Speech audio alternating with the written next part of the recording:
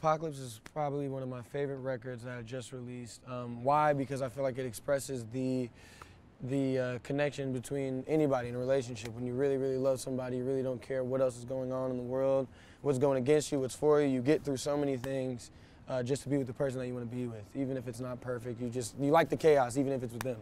You know. So that's what that song kind of represents for me, and it's upbeat, it's vibey, it's catchy, and uh, I love listening to it personally, just all the time. Um, but yeah, that's that's the first one. I feel like it's a feel-good song. I feel like everybody can relate to a love story. Rough Drafts Part One.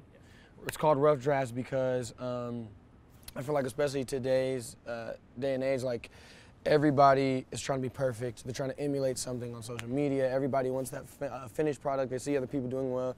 They want to skip a few steps, and I feel like a rough draft. You can't ever get a final draft. You go to college you can't get the final draft first. You got to do a couple rough drafts, revise it, do some different things, add punctuation, lose things.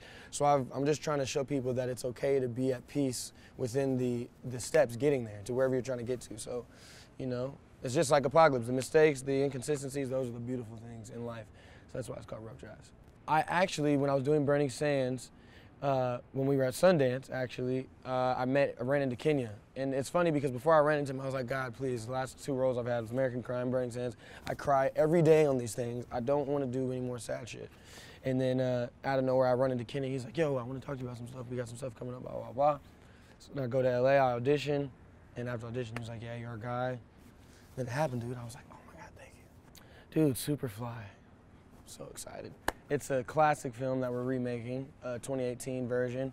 Comes out June 15th. Uh, I think trailer comes out next week.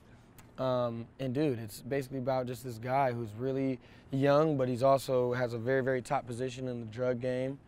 And then he wants to leave, but because he has his hands in so many pots and so many people depend on him for bread, it's kind of difficult. So there's a lot of action, a lot of fighting. I did all my own stunts. I have to say that every time I talk about it, just in case you watch it. I did all of it, okay? My back hurts, my knees hurt. I went through a lot of bullshit. I want to do some crazy, I want some Oscar stuff, man. I want to be like a crackhead or something. I don't know. I got to do, I don't want to do the slave thing or whatever. I want to do like a real role that's just a person that goes through something. But I want to transform for sure. I don't know what, but I definitely want to go deep into some kind of Joker type vibe. You know what I mean? That'd be fun.